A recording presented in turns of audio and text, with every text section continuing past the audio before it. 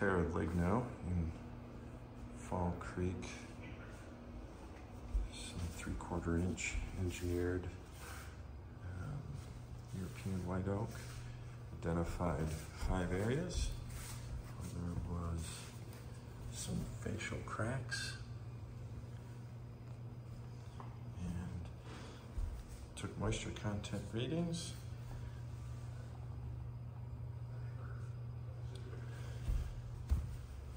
Took moisture content readings of the white oak wall up there where all the bedrooms are. And then moisture content readings and put them under a microscope as well. Number three, this is not, this is a furnace for heat, but not used often. As you can see, the number four is a good example of the facial fractures. And number five, more than likely, some of these are exacerbated due to the light sweeping across.